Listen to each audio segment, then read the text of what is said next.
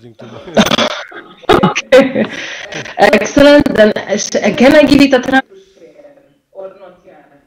Yeah. Because it disabled, it is still disabled. So mine is not. No. Mine is working.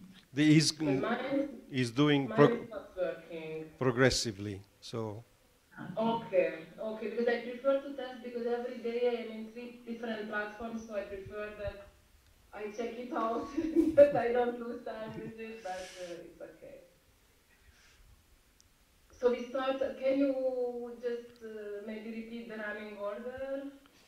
yes. So it's Krisztina, Okay. then Paola, then Claire, Tommaso, Adam, Francesco. Okay, excellent. In, in order of importance. good. Order of logic. In order of age, no. Let's not go into that.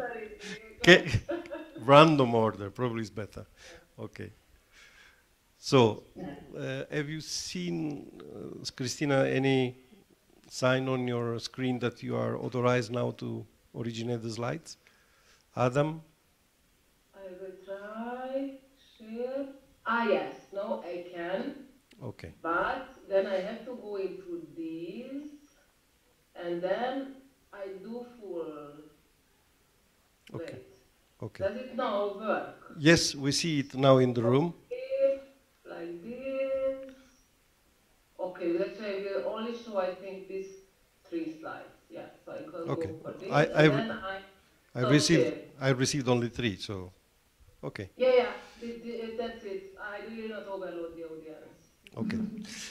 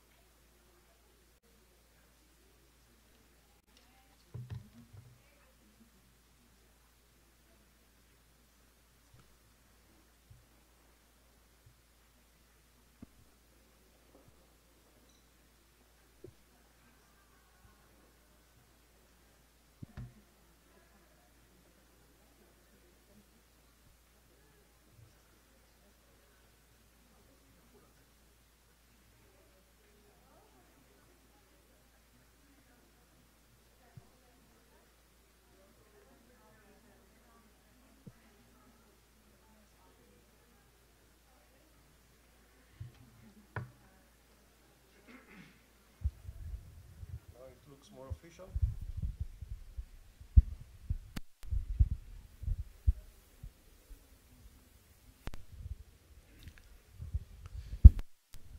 Roberto, ¿cuál es la regla? Empezamos desde cuando esperamos algunos minutos o empezamos a la hora.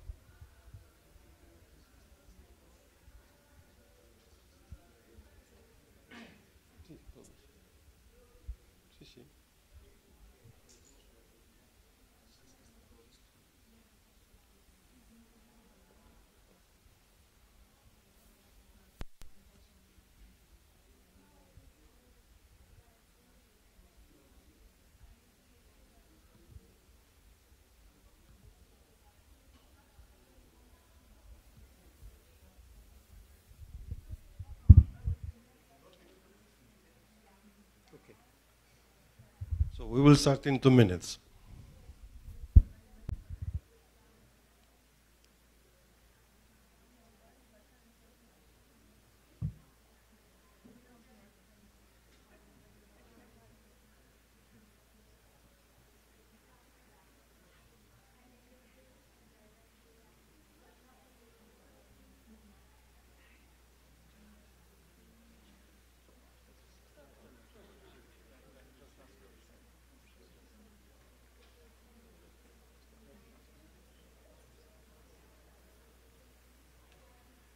Good luck with this session.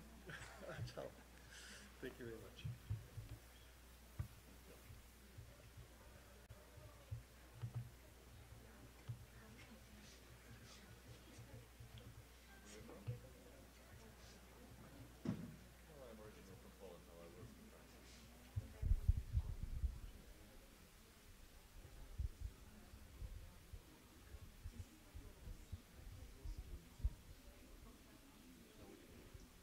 Okay. Okay, let's start. Thank you very much for being with us today for this session. Uh, I see many friends in the room.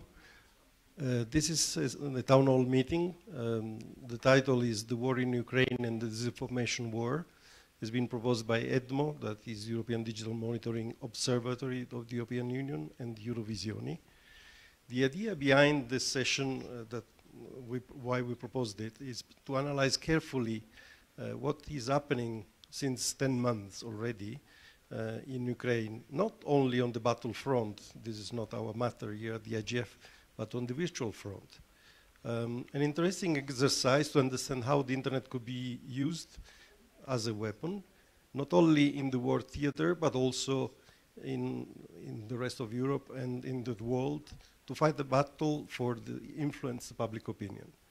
Um, this became a test bed for the recent measures of the European Union put in place to fight disinformation and misinformation, such as the code of practice that you know because it's been presented here in the past years, but has been renewed, and the network of national observatories with the members, within the member countries, of which EDMO is the central hub.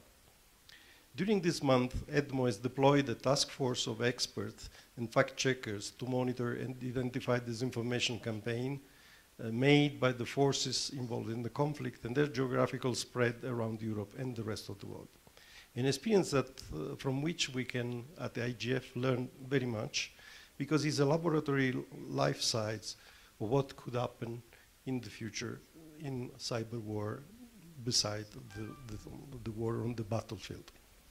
So we have with us today uh, a, a certain number of panelists, all from Europe, because we are talking about Europe and European experience, but we asked to, to be reinforced by Roberto Zambrana, that is kindly here with me to support the session. And among the speakers, we have Krisztina Stump from the European Commission. I will- ask them to introduce themselves one by one later when they will take the floor. Paola Gori, that is Secretary General of the EDMO, Claire Wardle, that is uh, an academician, um, Tommaso Canetta and Adam Maternik, that are two fact checkers, and then Francesco Sciacchitano, that is a regulator. Why this composition? You will understand later uh, following the course of the discussion, because these are all elements of the puzzle of how European Union try to tackle disinformation. So without, uh, and there is Eric Lambert with us also that uh, is with us to stimulate the discussion. Um, without wasting more time, I will give the floor to Krisztina Stump because she can give you an overview of what the European Union is doing to counter disinformation in the, in the rest of the process of the regulation of the internet. Krisztina, the floor is yours, and you can try to start with the slide. Let's see if it works. Thank you very much. Um, I will take a moment till slide start um, presentation by uh, may be useful to uh, explain that I am the head of the European Commission that is in charge of the Commission's policy to fight disinformation. And it will be my pleasure to give you uh, this overview of what the Commission is doing to disinformation. This approach that the European Commission has devised is unique uh, by many.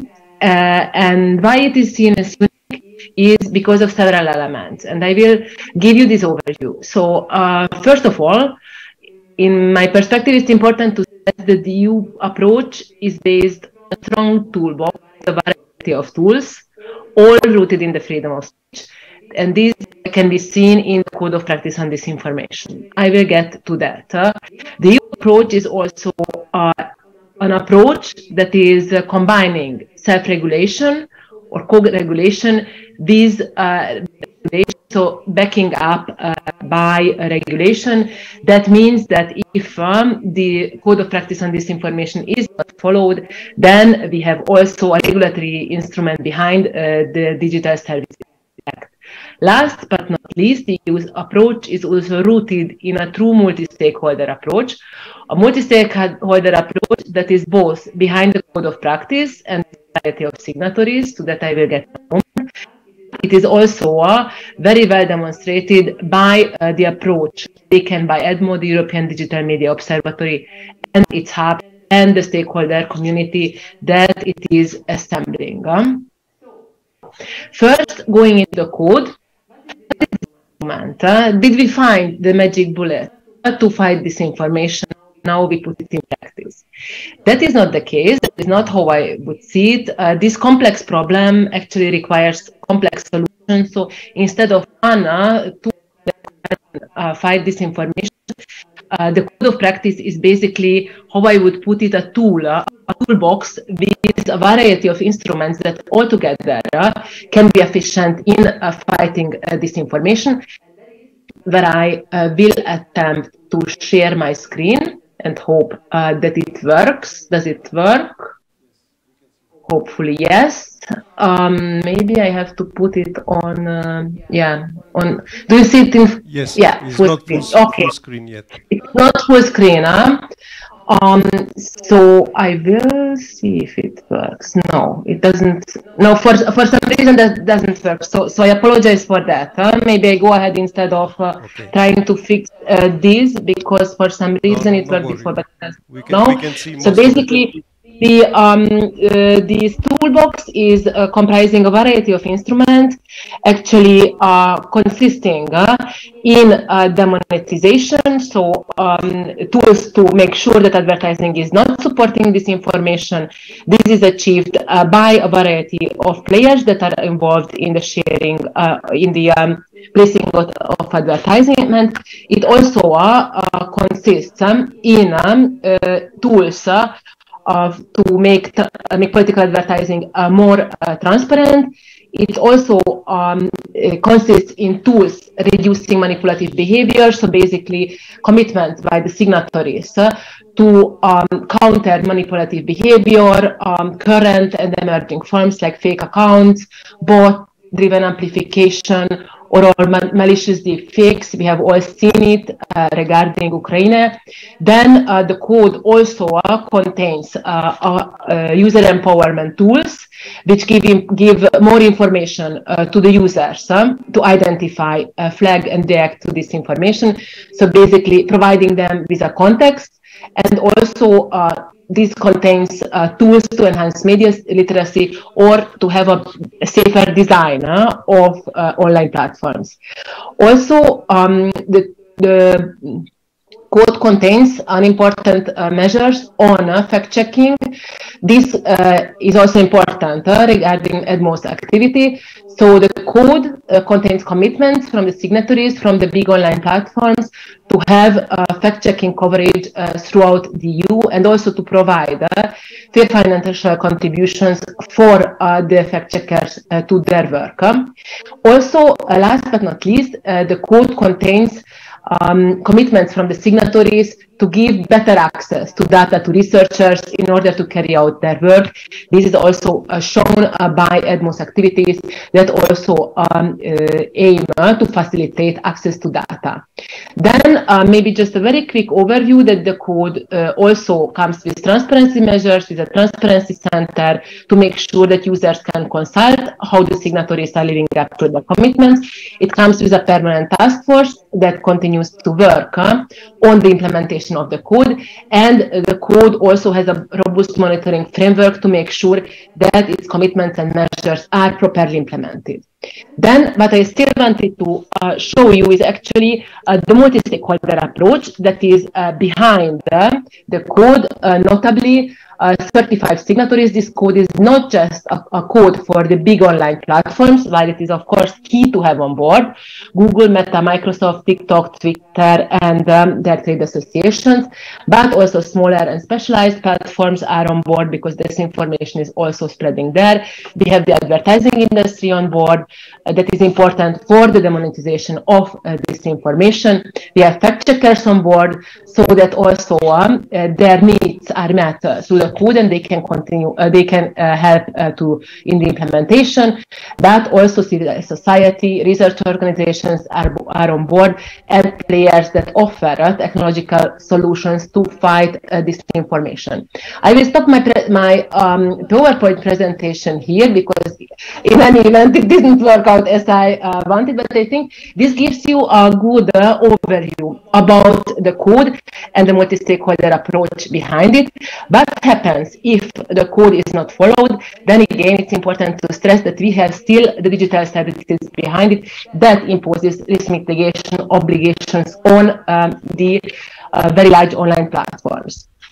However, um, before I close, I, or, or, uh, I, also wanted to quickly go into what uh, the code uh, brings uh, for um, the um, Ukraine-related situation and overall what is uh, uh, the approach of the EU on Ukraine. Here, preempting some questions that often arise regarding sanctions imposed on certain broadcasters, here it's important to say that this is a very uh, special situation when it comes to these propaganda channels. Here we are facing war propaganda. This is not the normal context of disinformation, and that's why the EU has take, taken a targeted approach to limit the distribution of this channel in channels in a targeted manner that are a part of the Kremlin's uh, propaganda machine and that are actually part of actual hybrid warfare.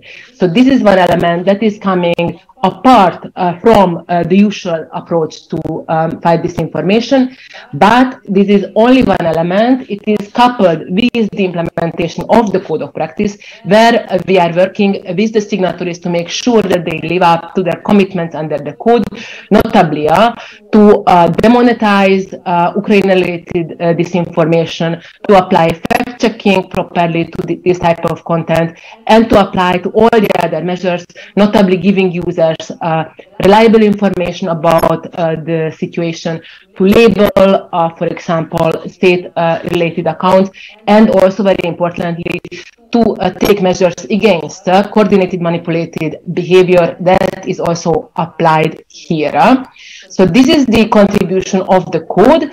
And then um, last but not least, uh, also important to mention the contribution the contribution of EDMO. Uh, and this will lead indeed uh, to the next speakers that will go in depth, uh, but EDMO is contributing to this. But let, let, me stress from the Commission's perspective that EDMO's contribution on this in particular, also through the, uh, to, through the Ukraine task force, is very important. So that's why I'm very much looking forward uh, to the contribution of the other speakers. Thank you very much. Thank you, Krisztina. So, because you already made the presentation of uh, Paola, I give the floor immediately to Paola. Thank you. Paola. Thank you very much. Thank you very much, Giacomo, and thank you very much, Krisztina, for, for this bridge. Uh, indeed, Krisztina was mentioning the importance to have a multidisciplinary and, and a multi-stakeholder approach when dealing, when dealing with disinformation. And this is why I wanted to briefly introduce what EDMO is, which was already mentioned. EDMO stands for European Digital Media Observatory, and the idea is to act as an independent platform that brings together the various stakeholders, that em- enhances a multidisciplinary approach, and that acts, if you want, as a body of facts evidence and tools. Uh, how do we do that? We offer, for example, trainings uh, uh, on the specific topics and various topics related to disinformation. We have on our website repositories with fact-checking articles, repositories with scientific uh, publications. Uh, we have a map of the media literacy initiatives that are implemented in the EU. We do uh, collect, and I will get back to the hubs later on, all these materials from the various member states thanks to our. And uh, we uh, also, of course, organize workshops and events. So overall, the idea is to make sure that if you want to tackle disinformation, you have to first understand it. And given that, it, as it was mentioned, it actually touches on different disciplines and different stakeholders, we are there to bring them all together and to uh, make sure that we all have access to those in order then to have evidence-based policy approaches and to be in a position to, to study them. Um, I will skip that, but I wanted to start with just a few examples. One big achievement of EDMO is, as you might know, like when studying uh, disinformation, it is important to access the data of the online platforms because this gives you uh, a complete picture on how the disinformation campaign started, which are the actors behind, and so on. And this is why EDMO established a working group that actually is um, as a, as a mandate had as a mandate to understand how to access those data in full compliance with uh, data protection rules, because we know that these are, of course, also to be implemented. And we published the first of its kind in the world, actually, uh, report with a proposal of a code of conduct to, uh, to make sure that this data can be accessed uh, in full compliance with GDPR. And we invite you to, to, to actually read this, this report on, on, on our website. Um, we do have a fact-checking network, and Tommaso will tell more later, um, that has uh, around 36 fact-checkers from the EU member states, and they collaborate together uh, on, a, on, a, on a secure platform. They do joint investigations. they they um, are in close contact, which also helps, for example, in the case of Ukraine, to um, share early warnings. Like, for example, some disinformation campaigns that were seen in some Eastern countries uh, were then arriving also some few days after in other countries. And thanks to this uh, um, network, actually, it was easier to detect uh, and also to be uh, alerted. Um, I was mentioning before our hubs. So we have hubs actually from these weeks in all member states. Uh, what they do, they detect and analyze disinformation campaigns at local level. You, you all know how important it is to have the language skills uh, uh, of a given country to do so, because of course uh, disinformation spreads in different languages. Um, they organize media literacy activities at national or multinational level, and they are in constant dialogue and provide policy analysis uh, to their uh, national regulatory authorities, and they do uh, uh, research. this is very important, and we couldn't be what we are without our hubs, because as I was mentioning before, they populate our repositories and they enable actually the possibility to do, do cross um, cross country analysis, to compare data, to uh, try to find common trends, both in research, in media literacy, and in general, to understand the trends of disinformation campaigns. Um, for uh, the war in Ukraine, what we did, and my colleagues afterwards will give you uh, additional details. On one side, we decided to have a database in which we, at the beginning, daily, now uh, in the recent days, not so daily, but very often we update this database with the fact-checking articles that are produced in the various member states. Um, this database has more than 2,000 uh, entries right now, and it looks at disinformation related to the war on both sides.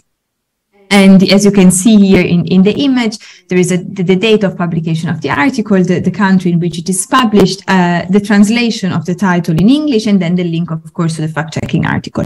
Uh, thanks to this database, we were able also to produce weekly insights on the main narratives regarding the, the, the war and also some, some early warnings of, of what was coming up.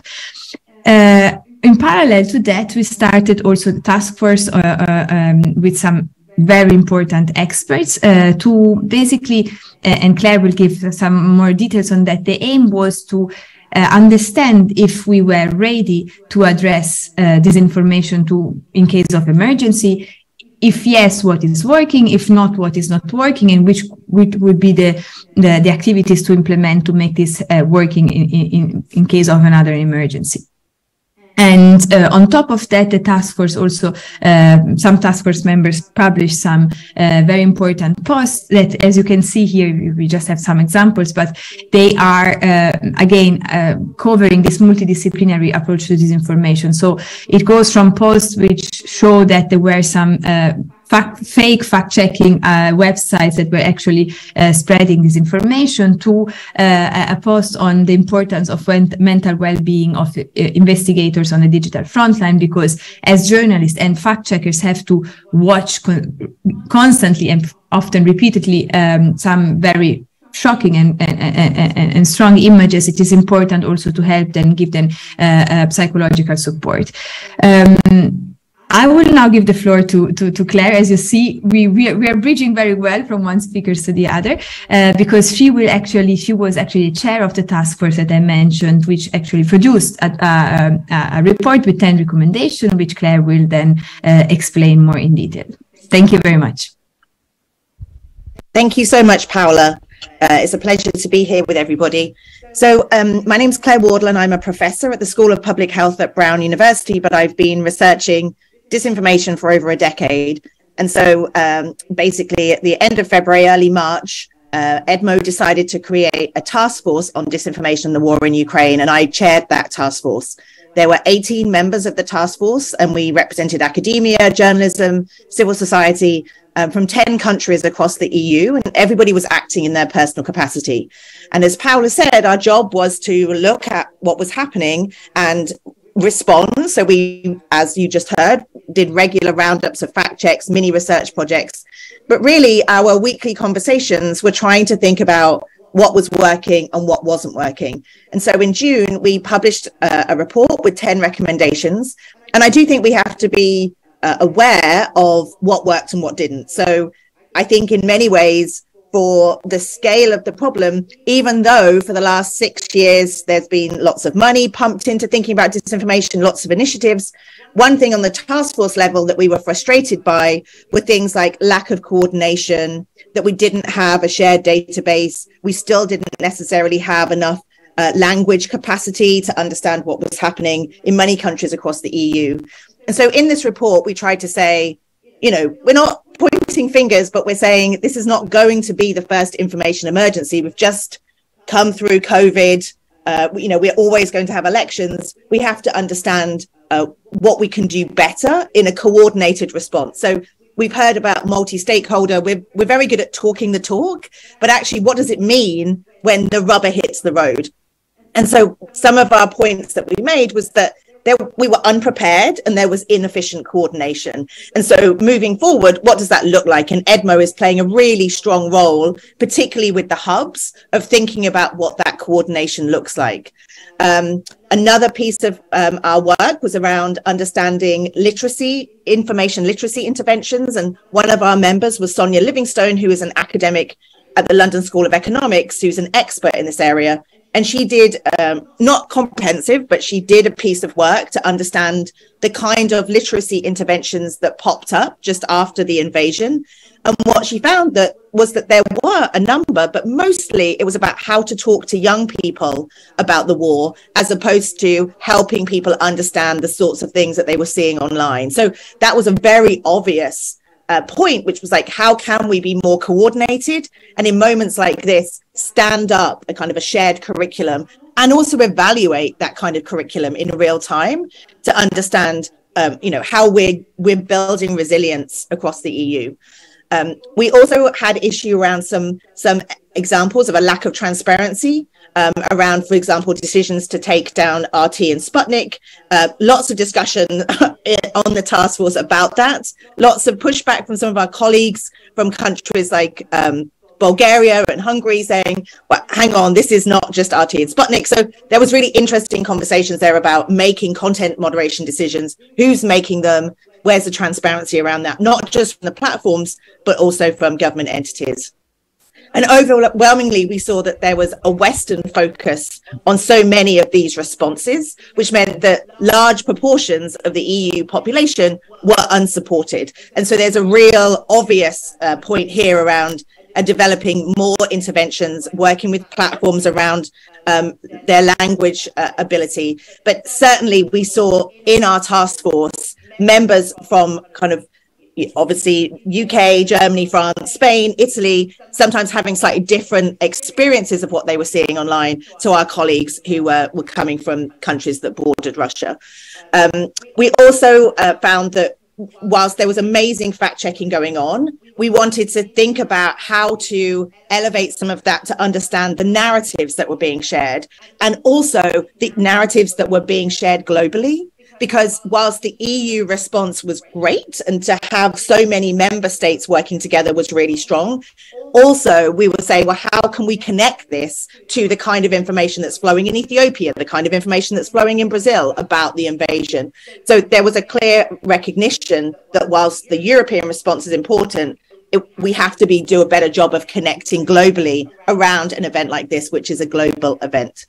Um, and so, and the other element we all talked about was the need for the full information ecosystem to be considered. So, as Paola just explained, there is a need for more data from the platforms, but also we had lots of discussions about the role of broadcast media and print media in pushing certain false and misleading narratives, and the challenge that fact checkers and others had in trying to make sense of what people were hearing from traditional media.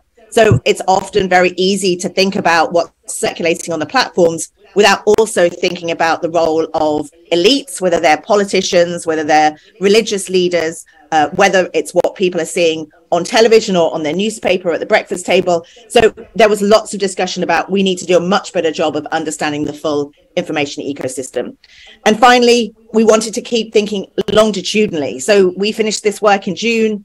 The war continues and what we don't have good measures on is how the kind of interventions that we have started to put in place, what's working and what's not over time. And so I think a lot of what we saw was yes, there were outright falsehoods, but a lot of the problematic content is what we call gray speech. It's not illegal, but it's many of us on this in this meeting would probably say it's leading to harm, but maybe over time it's a drip, drip, drip, drip of low level gray speech and what does that mean in terms of shaping narratives and the way that people perceive what's currently happening in Ukraine? So, again, lots of discussions about the need for more measures that can help look at harm longitudinally. So, um, I'm not here to say, oh, it was all problems, but I do think we have a responsibility to say the platforms weren't ready for the invasion of Ukraine. They all spent that weekend deplatforming accounts, trying to figure out how to change their policies and it was very easy, I think, for us to say, oh, why weren't the platforms ready? And I think one of the major things that we took away from the task force was that we, civil society, governments, we weren't ready either. And it's on us to say, how can we do a better job to be more prepared? Uh, and I think that's that's why these kind of conversations continue to be so necessary. So thank you very much for your time. Thank you, Claire. Um, before to, we go to the next speakers that are the fact checkers that probably have the most interesting example to work on. Uh, I think that we need to make a point now because the three first intervention have been about policy, the first two about policy making, how the European Union tried to tackle disinformation. Um, and now Claire introduced a certain number of doubts and problems because when you start from principle then try to apply to reality you face a lot of issues so it seems that the way to build the Ministry of Truth or Truth is still uh, complicated and probably will not work very easily. Um, having said that, I think that the next speaker can uh, bring us concretely in the in the field of what happened, what this laboratory created by the EDMO has uh, showed up, and I think that uh, is useful to to listen to what he say. Uh, Tommaso, of Pagella Politica. Can you introduce yourself and uh, make your presentation? Absolutely. Hello, everyone. I am Tommaso Canetta, the coordinator of the uh, fact-checking activities inside EDMO. And uh, I'll try to share my screen. Can you see it? Okay, great. Uh, I am also the deputy director of Pagella Politica and Facta News, the two main Italian fact-checking outlets, and also member of the board of the European Fact-Checking Standard Network. So uh, before I dive deeper specifically into the Ukraine uh, issue, uh, a few words about the EDMO's fact-checking network. So it was established in the spring of 2021 and was operative by the summer of 2021. Right now, we have 36 fact-checking organizations spread all over Europe, uh, the European Union, pardon, plus Norway. Uh, some of them are very big organizations like AFP or DPA, and they have different bureaus in different countries. They operate in different languages. Other are very small organizations, maybe just three, four people organizations operating from small countries. So this is uh, the network, and it was very important that it was established before the beginning of the war. So we were actually able to uh, see the, the, the evolution of the disinformation in the making, basically. So um, one of the instruments, one of the tools that we use to detect information, disinformation, is uh, uh, our uh, monthly briefs, uh, in which we gather information through a questionnaire that has both qualitative and quantitative questions. This questionnaire um, is sent to the fact-checking organizations of the network. We gather all the answers we analyze those answers centrally, and we, we are able to extract some interesting data. For example, um, from the quantitative, quantitative questions that we ask, we know how many fact-checking articles have been published during a said month and how many of those articles were about a specific topic. So the first topic we focused on was the COVID-19 pandemic, the white line that you see here, later the Ukraine-related disinformation, and during the summer we started also analyzing specifically the climate change-related disinformation. As you can see for Ukraine, the disinformation basically exploded in March. So it, it, it exploded in honesty already uh, since the 24th of February. But in March, it was like 60% of the total detected disinformation. Later, this percentage started dropping down constantly uh, until October, when we actually detected this, uh, let's say, new rise of the uh, detected disinformation, specifically about Ukraine. Analyzing the qualitative question that the questions that we we, we ask the, the organizations of the network, we were able also from the beginning to isolate some of the narratives uh, that circulated specifically inside the European Union or in Ukraine. So you can see here, for example, that the Russian invasion of Ukraine uh, was actually justified. Uh, for example, there was false numbers about uh, the, the um, deaths of civilians in Donbass. Uh, false news uh, calumnying Volodymyr Zelensky, the president of Ukraine. Uh, the fact that Ukrainians and Ukrainian forces are lar largely Nazi. We detected also pro-Ukraine war propaganda, for example, the mythology of the Ghost of Kiev. This is very important to stress. We are completely independent. We do not take orders from Central EDMO and we do not take orders from the EU Commission or the state. So fact checkers operate in a truly independent way and we detect this information as it is. We are absolutely neutral. We are not there you know, looking for disinformation of this or that kind. So we detected, of course, a lot of pro-Russia disinformation, but also some pro-Ukraine disinformation. The two things are not comparable, but it's important, I think, to underline that uh, we see what we see. We see how it is. We do not invent anything. So other narratives were about uh, Western traditional media spreading false news or Ukrainian refugees being violent, etc., etc. Russophobic statements in European countries, etc. Uh, what I want to stress here that we talk about disinformation narratives when these messages are conveyed through false news. So, for example, we know for sure that some Ukrainian soldiers had um, Nazi symbols of them, but creating a narrative about the Ukrainian forces being largely composed by Nazi passed through many, many false content created with Photoshop, basically adding swastikas on Zelensky's T-shirt or on politician, Ukrainian politicians' shirts, etc. Or on the other side, during the partial mobilization of Russian troops, we know for sure that it was real that many, many young Russians were fleeing from Russia into other countries but we also detected false news exaggerating this phenomenon. For example, news about very long queues at the Finnish border that in the end weren't true. So this about uh, the, the monthly briefs that are a very powerful tool for coordinating and detecting disinformation at European level. Also because the organizations usually have, let's say, a, a national business model. So they, they detect disinformation and counter disinformation at a national level. So having a network that allows us to see disinformation and counter disinformation at a continental level, at the European level was incredibly useful before with the pandemic and now, of course, with the war in Ukraine.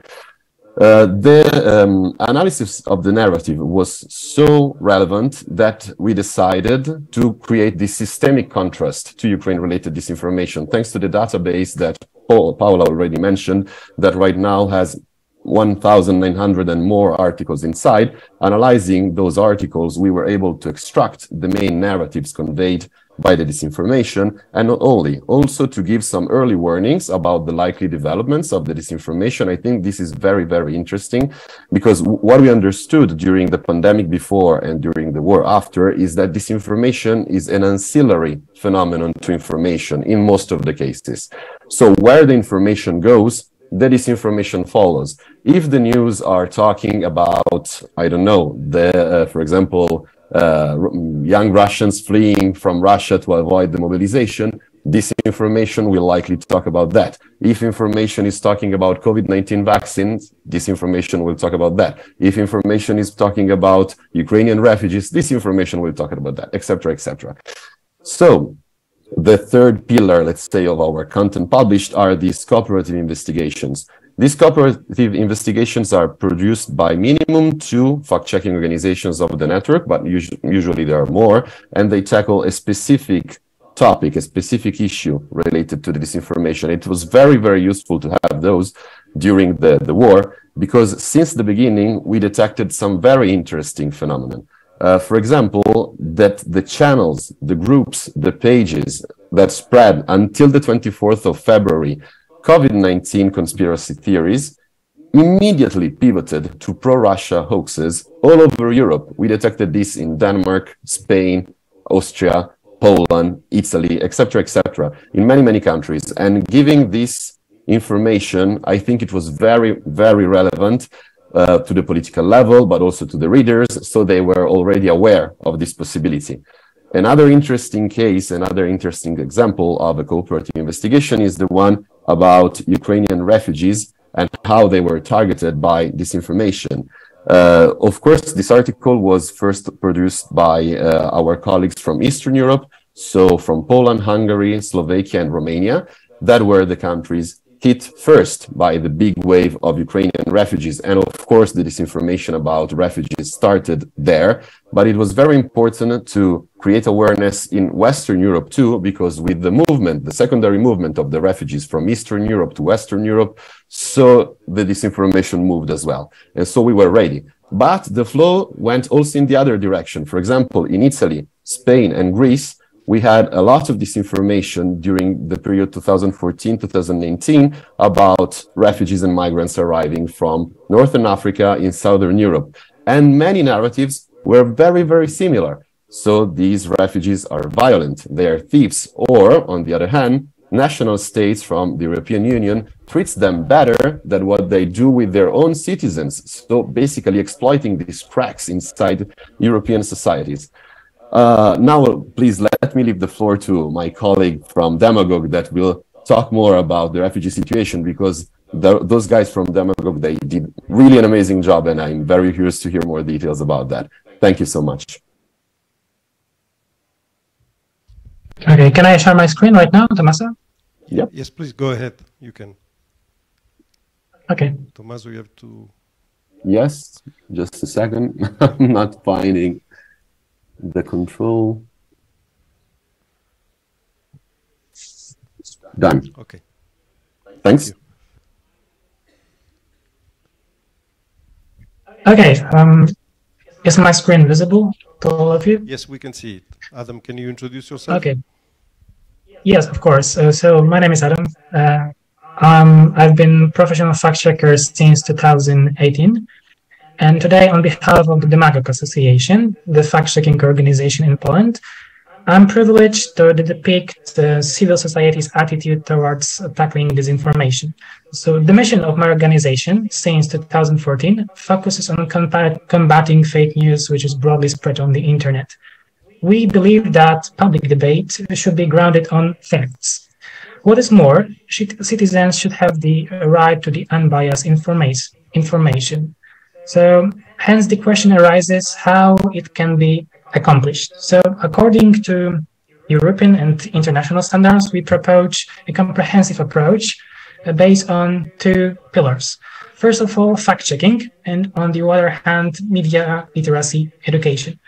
So moving on.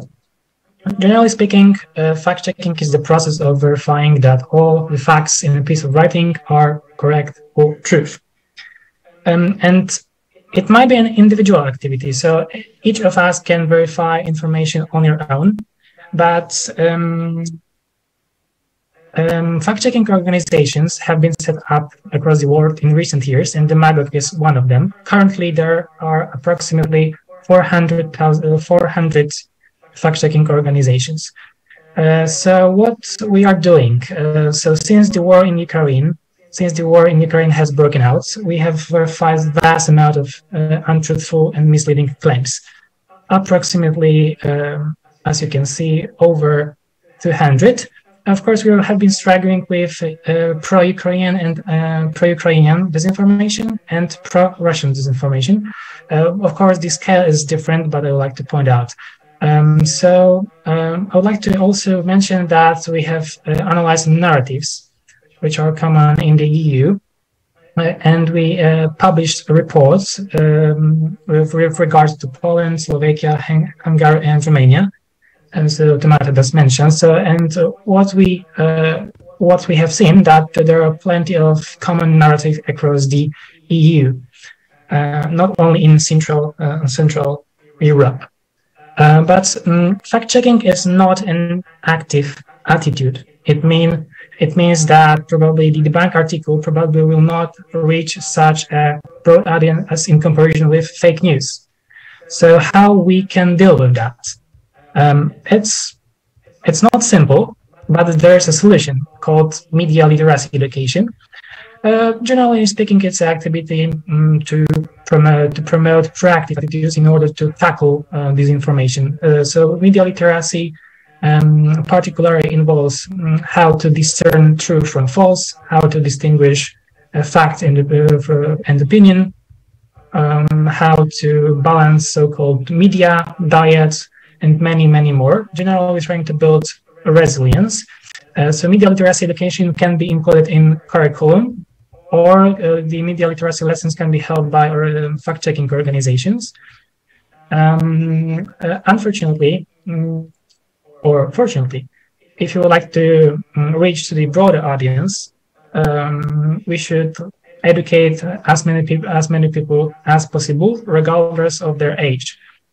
Uh, so there is one more solution, which is called pre-bunking.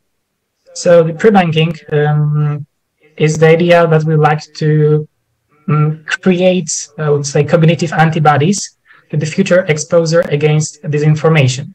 So pre-bunking is generally grounded on inoculation theory. So it's like like a, like a, during a real vaccination, we like to put effort into produce these um, antibodies in order to be prepared to the disinformation, uh, to the disinformation, especially when it comes to the narratives. We, so we would we wouldn't like to learn people about uh, about uh, I'm sorry, uh, I've, uh, I, know it was wrong about narratives, uh, about uh, techniques. So how people can be manipulated because narratives may be different. Uh, so that's that's that's the point. And I would like to um, I would like to uh, show you some case, some example. So this year, the pre-bunking campaign has been launched in Poland. due to cooperation between the Demagog, Google Jigsaw, and National Research Institute and we have warned uh, Polish citizens against two common techniques, um, scapegoating and intimidation, used in order to spread um, uh, anti-Ukrainian narratives. and I, I believe that this campaign is quite successful because uh, it um, it got 13 million views. So I, I think that we will, will reap the rewards sooner or later. So um, all things considered, we should uh, bear in mind that um, tackling this information is very difficult.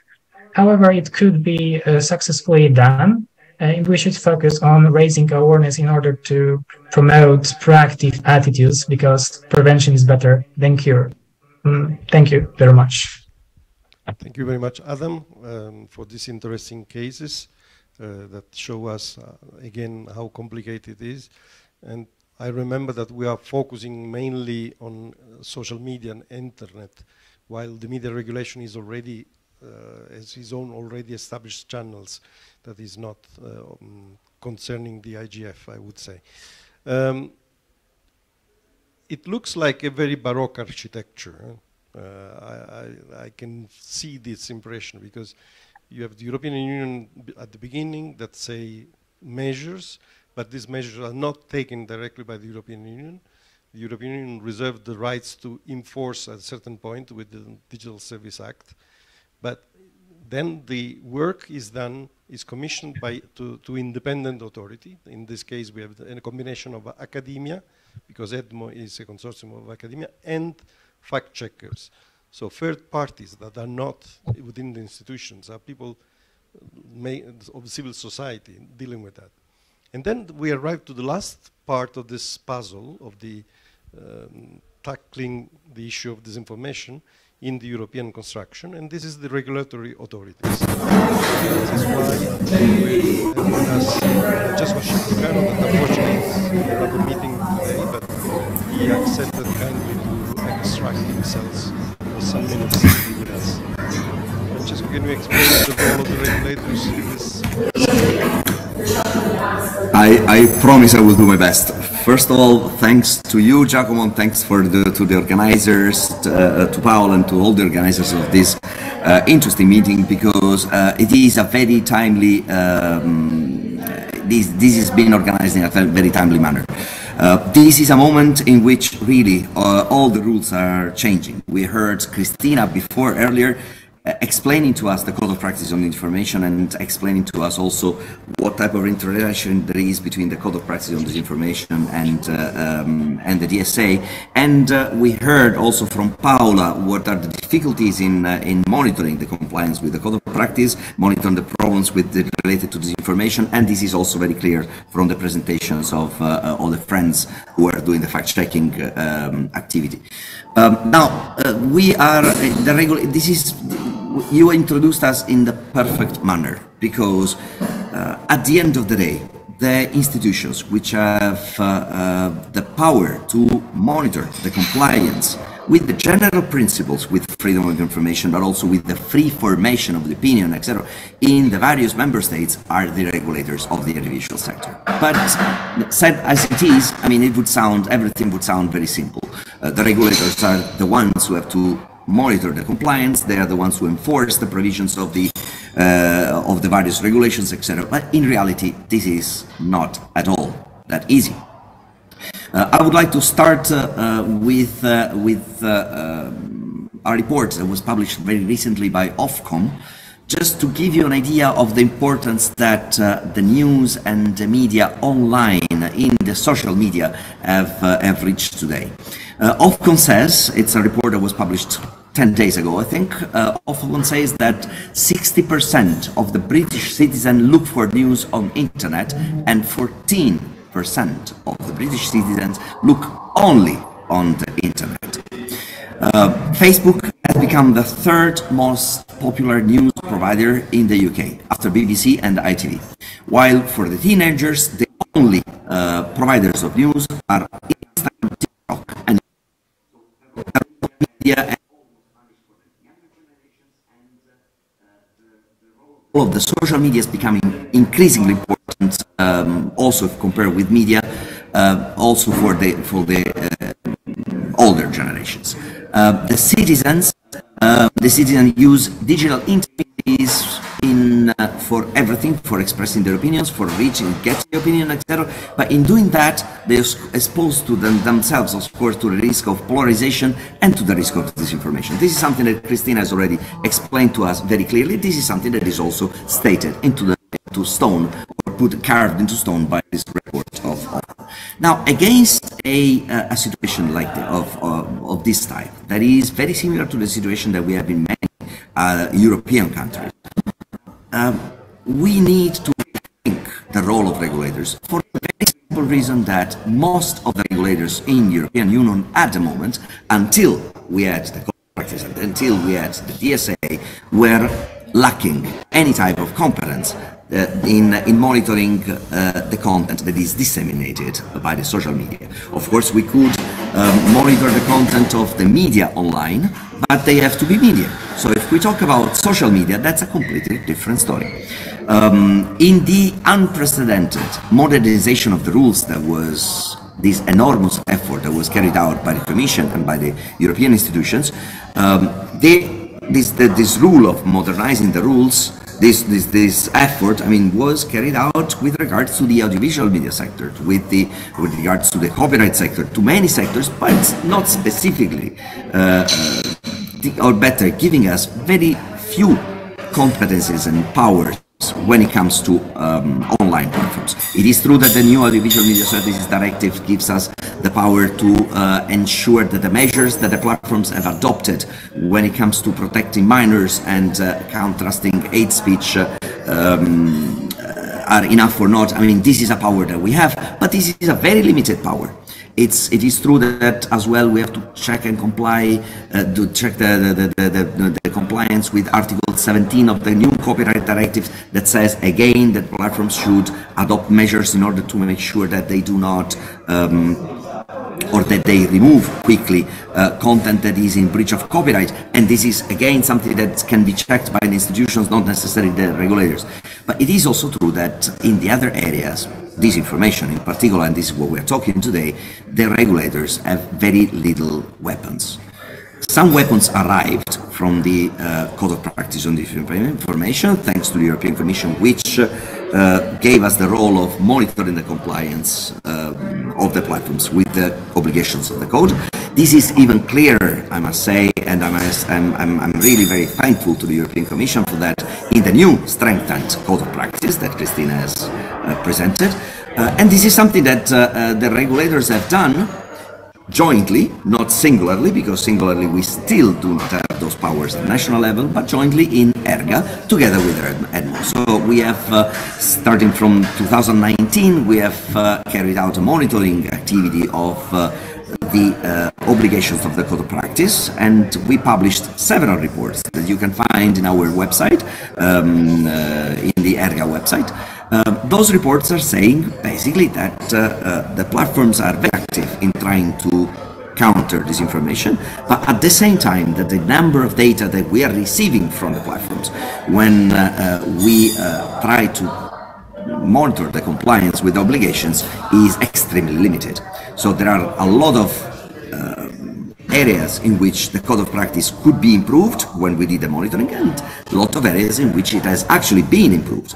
Now it uh, it remains to be seen because we we have we we are part of the task force for the implementation of the code of practice together with EDMO, eh, and we are working at the uh, service level and uh, the KPIs, uh, the indicators of uh, key performance. We are trying to come up with practical practical measures that would can um, assess whether the obligations of the core practice are being implemented, are we being complied with or not. But of course, this is something that will happen next year when we will have the first new round of uh, um, monitoring of the, of the of the of the compliance done by ERGA with the new strengthened code. So at the moment, we are in a situation in which we have new powers and we are going to use them. In the meantime, there is also another good news. And the other good news is that those initiatives, the Code of Practice on Disinformation, the other initiatives, uh, the DSA, etc., of the European Commission and the European institutions are being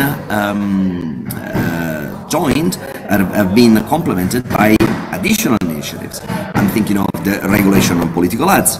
I'm thinking of the various initiatives on media literacy.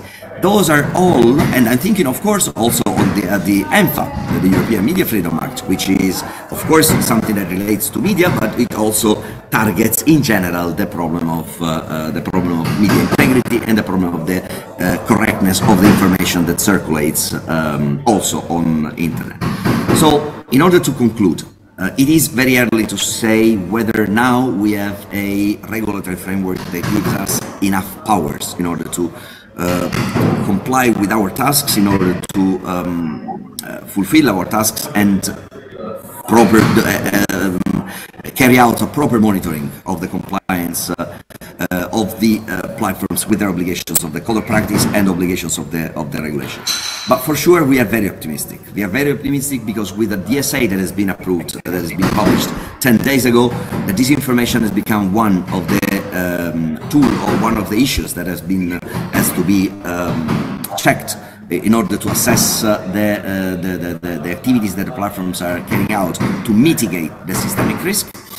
And so we are convinced that from now onwards, now that the DSA is in place and it, it, it validly, uh, it can validly mm, be combined with the Code of Practice on Disinformation and the other initiatives of the European legislators, from now on, we will have additional tools in order to carry out our activity. Of course, we will use a lot the cooperation with EDMO and with fact checkers, and we hope that in the future this coalition of, uh, uh, of subjects will give us the opportunity of uh, um, controlling and monitoring correctly what the platforms are doing and uh, uh, countering the disinformation in a much more effective way than it, we were capable to do until now. I hope I was clear, Giacomo. If there is any question on what we did, etc., I am very happy to answer. Thank you. Yes, I have one question. You said us that you are at a regulatory meeting, but looking at the noise that there is behind you, looks like constructions. yes, there are, I, I, had to leave the room in which there was a conference, and now I'm in another room in which uh, uh, they are doing some constructions. So I apologize for that. For fake news, this is really fake news from the beginning. Okay, apart that, okay. Um, and, and the second message that I listened from what you say is that uh, you are suggesting to the conflict, the party in conflict in Ukraine to wait until the legislation of European Union will be ready so that we will be effect, really effective against uh, disinformation. But I am not sure that they will listen to us. Um, anyway, so I think that uh, would be, uh, we, we, have very short time for discussion. There are some questions, I think many, so we have to select only few. Uh, let's start from who is in front, ladies first.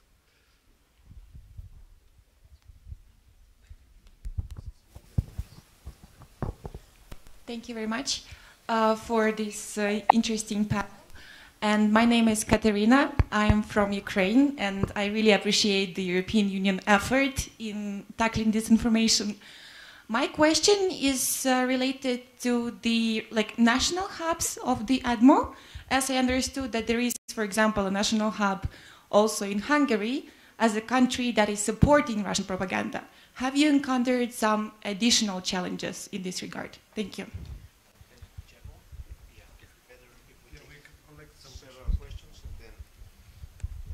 Hello, my name is Tim and I'm from Russia. that sounds promising, yeah. Uh, earlier today we have discussed some matters of fact-checking and fighting fakes from Russian side and I have one question for the representatives of EDMO and there was a story, a, a very sad story two weeks ago. Um, a rocket hit a Poland territory, sadly killing two Poland civilians.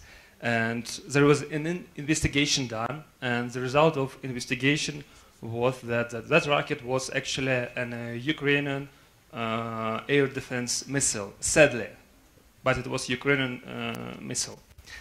And regarding that, However, official Ukraine officials and Mr. Zelensky himself still insists that this rocket was Russian. So my question is that, in this way, does Ukraine government and Mr. Zelensky are recognized as disinformation source? And is that activity is recognized as disinformation narrative? Thank you so much.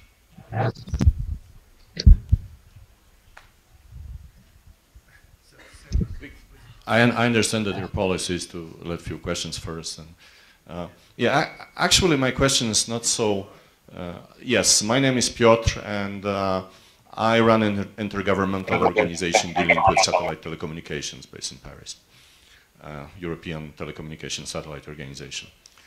Hmm? Yeah. Um, Actually, my question is not so much about uh, Ukraine and Russia per se, this conflict, but it's more of a general nature. Uh, and this is a question which I would like to address first to the, gentlemen who actually run fact-checking organizations, Mr. Materning and Mr. Oui. Uh, yes. Um, uh, my first question is, do you have internally policies that uh, would do self-assessment of your own work. Actually, if you go back to the, let's say, rulings or statements you made about other people's facts and uh, found out exposed that you are actually wrong, and then what you do about it. And the question uh, that follows up on that is, is there, and I really don't know an answer to this question, so it's not like, you know, I'm asking rhetorical question. Is there a mechanism uh, a watchdog that would actually conduct, I don't know, audits, assessments of the fact checkers.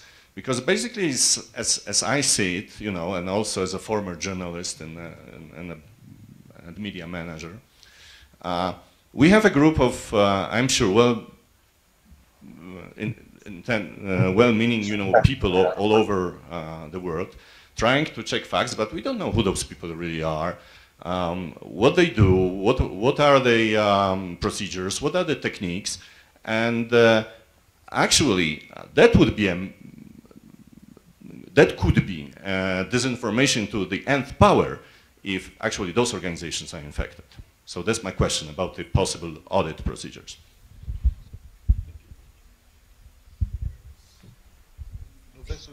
You have a question? No? No? Okay. So I think that we give the floor to the um, speakers to answer to these questions, and then if there is time, we will go ahead.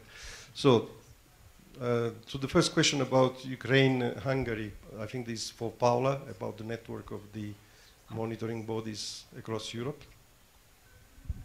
Yeah, and uh, yeah, so uh, the the hubs that that work with EDMO they have in their mandate, as we have at EDMO, to work independently. So uh, they are composed with by uh, a multidisciplinary uh, consortium where they have researchers, uh, fact checkers, experts in media literacy, and so on. And the work they do is supposed to be done independently.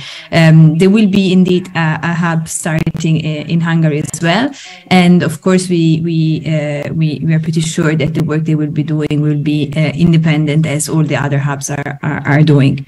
Um, regarding the second question, I think that Tommaso will also enter into that.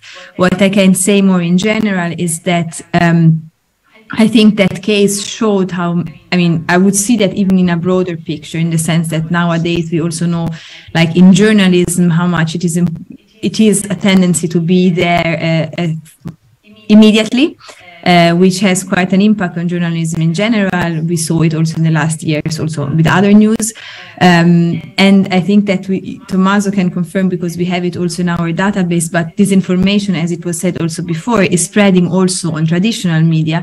And, um, and we saw, for example, at the very beginning of, of the war, there was actually an Italian broadcaster that was using images from a video game saying it was images from the war. So uh, unfortunately, disinformation still spreads on, on all media, but media uh, and journalists also have a rectification rule. And I think that as far as I saw in the media that I saw, this was then also also done. I mean, there was rectification of of of the information that was given.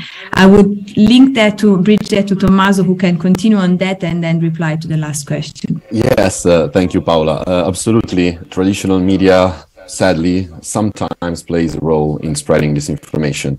Honestly, this um, cannot put the traditional media on the same level of platforms because uh, in general, if you look at the whole system, traditional media are still a reliable source and uh, platforms are not editor. They don't have control over the content that uh, is published on the platform. So a lot of disinformation can flow over there. But I want to answer the, the two, two questions from, from the public. The first one from the Russian colleague. Uh, yeah, that um, um, statement from uh, President Zelensky was most likely false because we know that there are more than one investigations ongoing. So the fact-checking articles are saying the situation is developing. We have one side claiming this, that side claiming that. Something similar is going also about the Nord Stream uh, probably attack. The situation is yet not clear entirely, let's make it the case that in the end, uh, it's absolutely true that it was um, a Ukrainian missile landed in Poland. And Zelensky lied about this, maybe in good faith, maybe in bad faith, we don't know. Uh, this is a false news. And of course, we will publish articles about this specific false news. But it's, it's not a narrative because a narrative required a lot of false news conveying a specific message. So if in the next months we see many false statements, many false news coming from the Ukrainian side saying that um, Russia is hitting NATO countries trying to start World War III, of course, that would be a disinformation narrative. A disinformation, of course, in the interest of Ukraine, try to fear mongering NATO allies in, I don't know, giving more weapons, entering in directly in the war, etc., etc. This is, of course, a theoretical case. The, the other questions Yeah, from the other question about gentleman from Utah. Piotr, this is very, very important to us. Yes, we have a policy of honest correction. This is required by the International Code for Fact Checkers, the IFCN code, and this is required also by the uh, recently born European Code for Fact Checkers, the European Fact Checking Standard Network Code. Both these codes requires that fact checkers, when and if they publish wrong information, they commit mistakes, they say something false, they publish in the same article, republishing on the same channels, the same content, saying, okay, we are sorry, we published something that was wrong. This is the correct information. And in the uh, websites of the fact checking organizations, you will have a page with all the honest corrections done in the previous years. And more in general about the second question, who fact checked the fact checkers? Who control the controllers?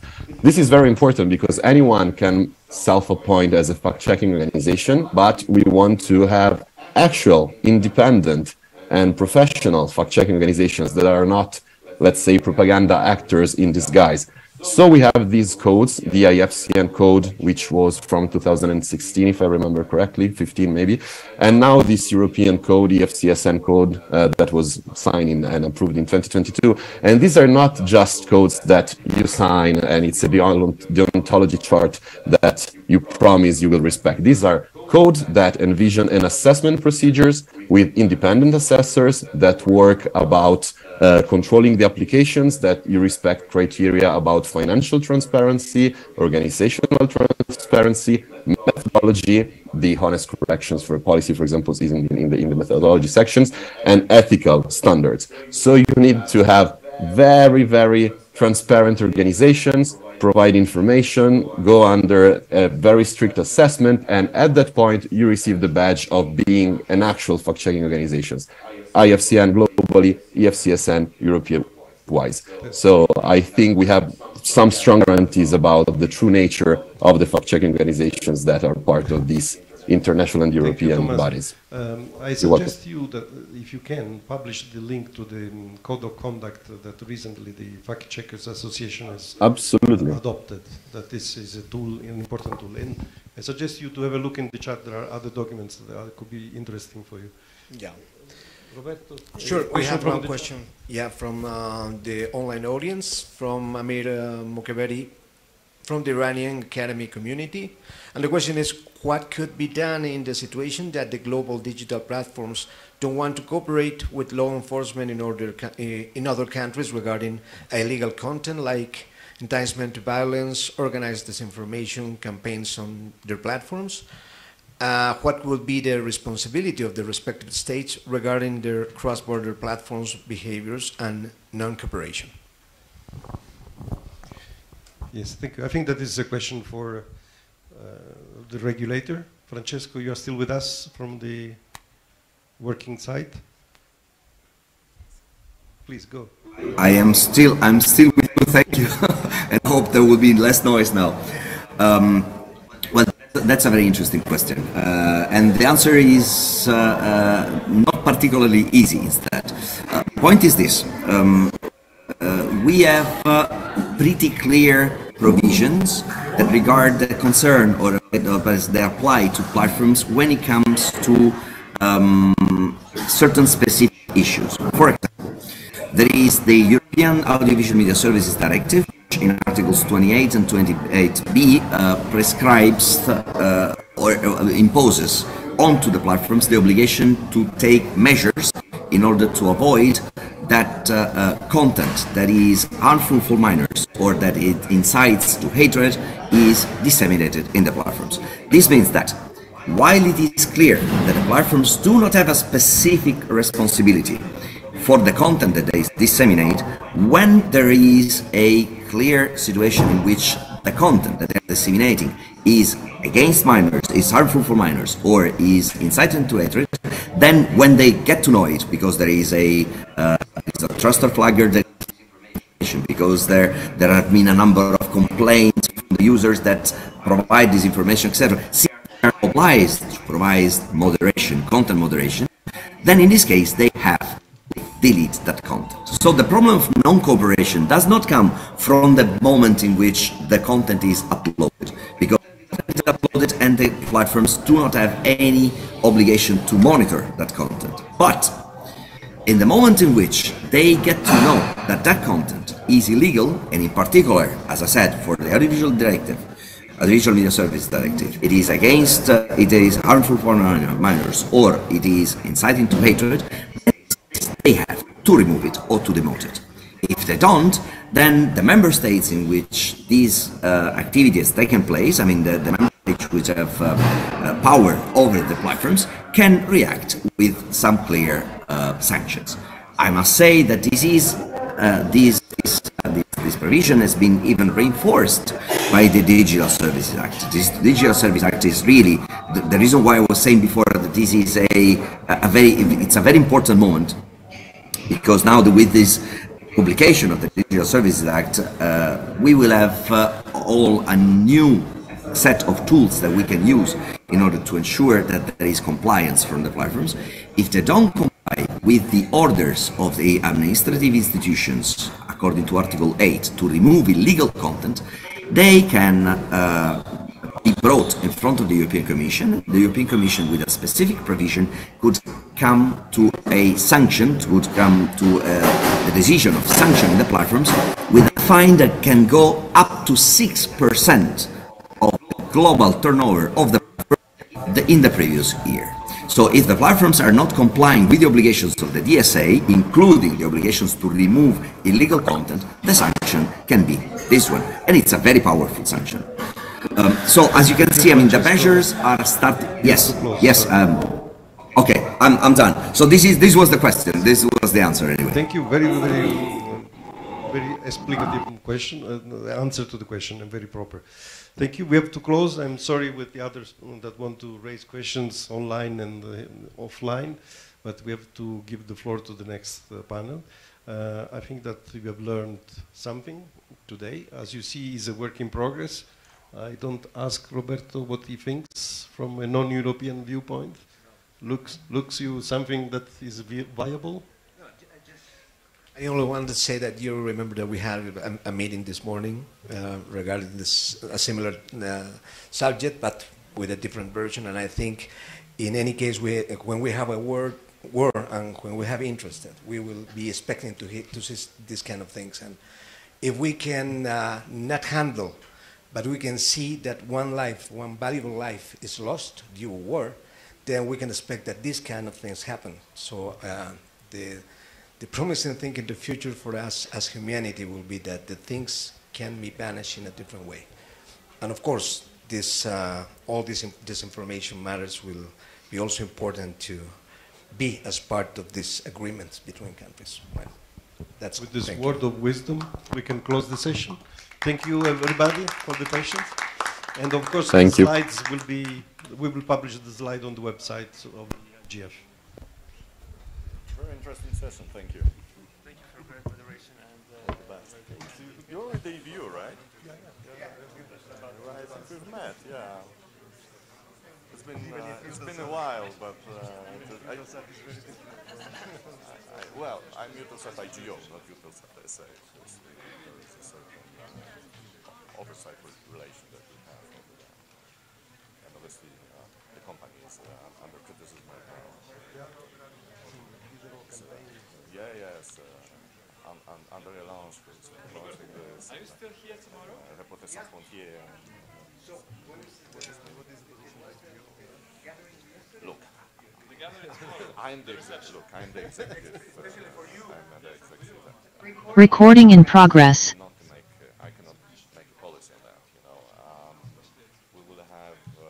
assembly of parties in May, and uh, and I'm sure that this will be discussed. I carry out don't- All right. So that's a verdict. And my, I,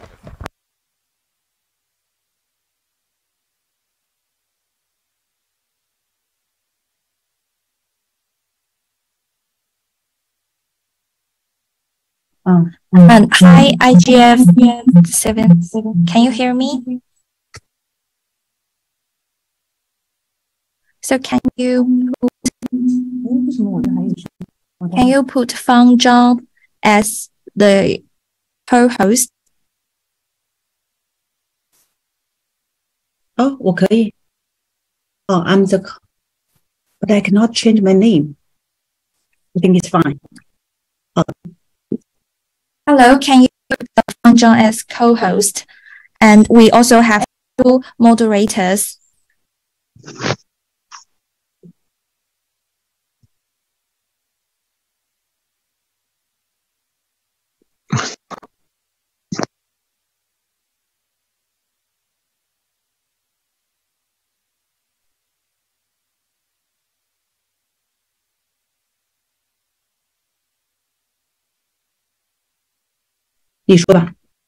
Uh, can you can you put uh, moderator one also as our co-host? As co-host and moderator one and two as we actually have three co-hosts here. And also we have two interpreters.